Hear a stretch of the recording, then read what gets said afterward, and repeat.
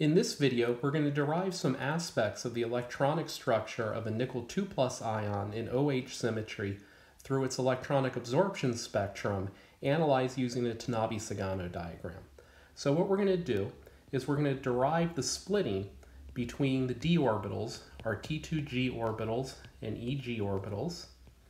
So we're going to derive the parameter 10dq, which is equal to delta O. And we're also going to determine the Racah parameter B for this complex, which is an electron-electron repulsion parameter. We're going to understand what this B parameter means in relation to the free ion parameter for a nickel 2 plus ion. This builds off of previous lectures in which we've determined different electron configurations for transition metal ions. So different DN configurations and how the d electrons fill into T2G and EG orbitals. It builds on our discussion of microstates. So the different ways in which you can align electrons in orbitals and how these different microstates can be grouped together into spectroscopic terms.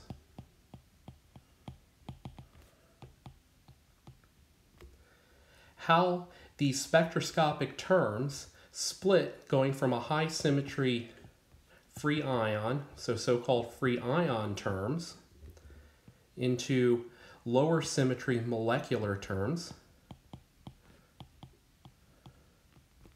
and how these molecular term energies change as a function of 10dq, which we analyzed using Tanabe-Sugano diagrams.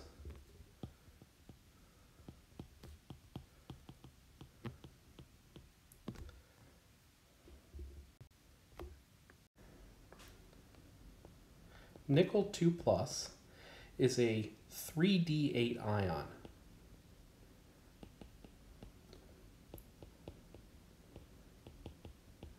In the free ion form, the 5d orbitals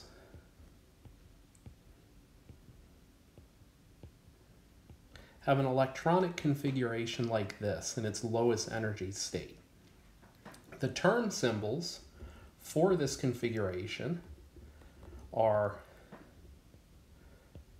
a triplet F, a triplet P, and then we have a singlet D, a singlet G, and a singlet S.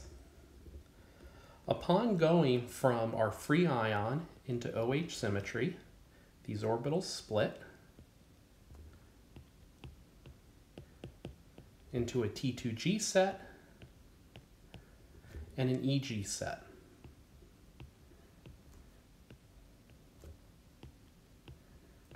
Filling in these orbitals but with electrons, what we get is a triplet ground state.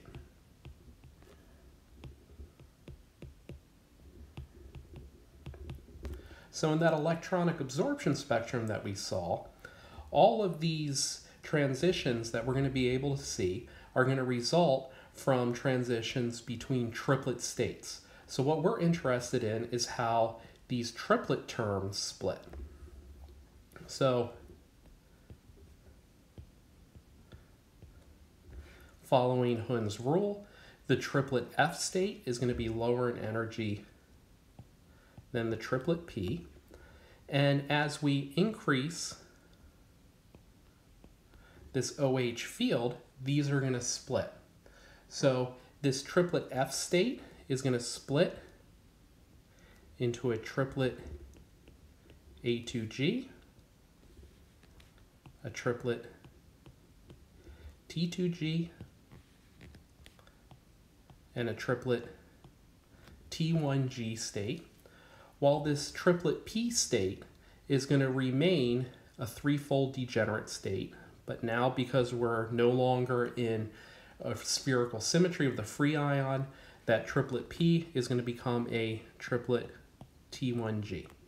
And the transitions that we're interested in arise from this ground state triplet A2G into these other triplet states.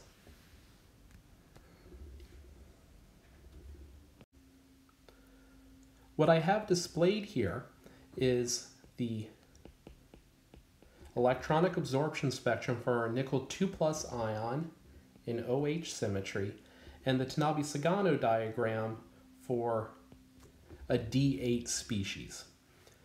These transitions here correspond to our D to D transitions, our spin allowed D to D transitions. We know there's spin allowed D to D transitions for an octahedral compound because these have extinction coefficients of approximately 50 per molar per centimeter. This lowest energy transition, so nu 1, which corresponds to 8,143 wave numbers, results from a transition from our triplet A2G state up into our triplet T2G. So we're doing this transition here for that. That corresponds to nu 1. And our nu 2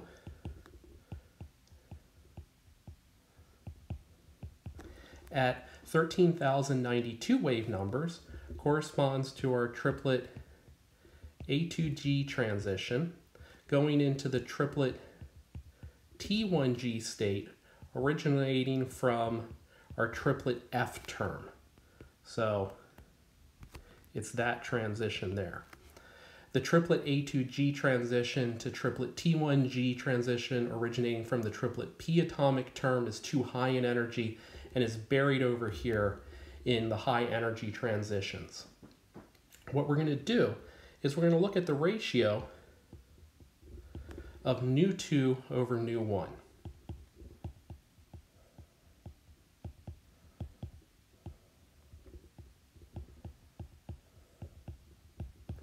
This ratio, which equals 1.608, is going to tell us where along our 10DQ B axis we need to look for our different vertical excitations. What we're looking for is where the energy corresponding to the triplet T1G excited state over the ratio of the E1B corresponding to the triplet T2G excited state is going to equal 1.608. Something that I need to point out before we go on is that I start to draw horizontal lines connecting the excitation to the various states across to the y-axis is that the values that I'll note for the crossing on the y-axis might not actually correspond precisely with the value that you'll see along the y-axis. And it just simply has to do with the fact that I'm drawing these freehand while I'm actually looking at values that I obtain from a high resolution Tanabe-Sugano diagram.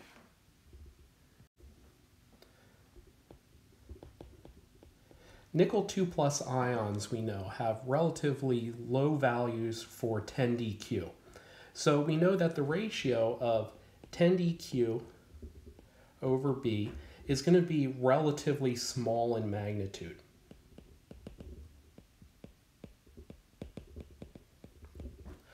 Because of this, we know that we can look down on this end of the Tanabe-Sugano diagram. So as an initial guess, we're going to use a 10dq over b ratio of 10, just as a guess point. So going through, doing this vertical drawing originating from 10 and going up, we get crossing of the lines for the triplet T2G here and the triplet T1G here. Looking over, we get these values here. So an E2 over B at a 10 DQ would be over 10 of 16.6. E1 over B equal to about 10.1. So that gives us a ratio of 1.64, which is a bit higher than that 1.60 ratio that we're looking for. Because this is higher, we know that we need to move to the right. So moving to the right, we're going to now guess a value of 15 to not go up too high. So going there, we now cross here and here. What this gives us at a 10 dq over b equaling 15 is an E2 over B equal to 22.3. We're going to divide that by an E1 over B and add a 10 dq over B of 15. That's equal to 14.9, which that ratio is 1.50, which is too low. So we know that it's somewhere in between a 10 dq over B of 10 and 15. We now know that the value for 10 dq over b is equal to somewhere between 10 and 15. So we're going to guess a value now of 12.5. So going through and doing that vertical line originating from 12.5, we get this. We cross the triplet T2G state here and the triplet T1G state here. So E2 over B at this point is equal to 20.2. E1 over B is equal to 12.6. Going through, dividing those together, we get 1.60, which equals that ratio of nu 2 over nu 1 that we determined before. So we know that the 10 dq over b is equal to 12.5. We can go through now and solve for the values of b. So E2 over b is equal to 13,092 wave numbers over b, which is equal to 20.2. So we get a value, value for b equal to 648 wave numbers. E1 over B is equal to 8,143 wave numbers over B, which is equal to 12.6. Solving for B, we get 646 wave numbers averaging these two, we're going to have a B equal to 6, 647 wave numbers. Using 10 dq over B is equal to 10 over 647 wave numbers, which is equal to 12.5 we can solve for 10 dq. And this equals 8,090 wave numbers. So we've solved for the 10 dq parameter, the splitting between the EG and T2G orbitals, and also the Racah parameter B. Just to recap, from that analysis, we've determined that that nickel 2 plus ion in OH symmetry has a splitting between our T2G and EG orbitals equal to 8,090 wave numbers. And we also calculated that the Racah parameter B for that complex is equal to 647 wave numbers. Now, this B parameter reflects electron-electron repulsion.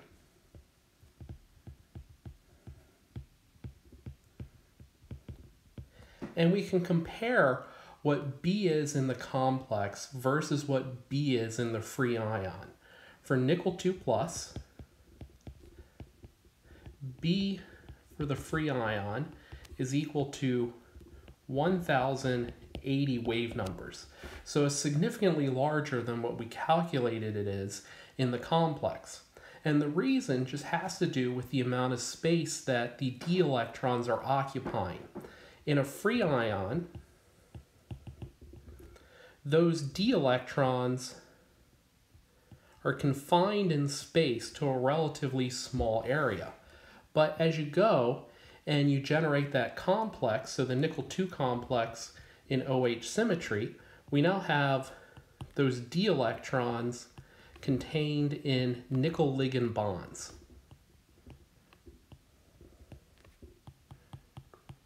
So these d electrons can now occupy a larger area. Therefore, electron-electron repulsion is decreasing as we go from the free ion to the complex.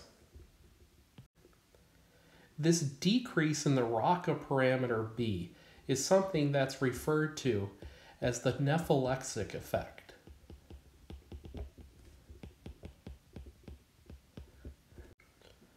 Or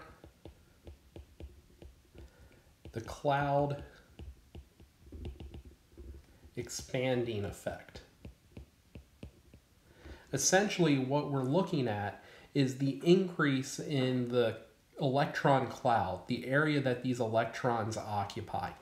And we can quantify this through a parameter beta, which is the B value for your complex over the B value for the free ion. And this beta is always going to be less than 1 because these electrons are gonna, always going to be occupying a space that's larger than what they can occupy in the free ion. So for this compound that we just analyzed, beta is going to equal 647 wave numbers over 1080 wave numbers, which is equal to 0.5 nine, nine. What this is a reflection of, to some extent, is metal ligand covalency. The smaller that this beta value is, the higher the degree of metal ligand covalency you have in your compound. So we can say that this compound has a significant degree of nickel ligand covalency. So this is giving us more insight into the electronic structure of this complex. Not only are we giving 10DQ, but we're also getting insight into how covalent this compound is. In the next video, we're going to be going a little bit more deeply into Tanabe-Sugano diagrams by looking at a cobalt 3 plus species, where now this can be either a low spin or a high spin compound. And we're going to see how we handle those using Tanabe-Sugano diagrams.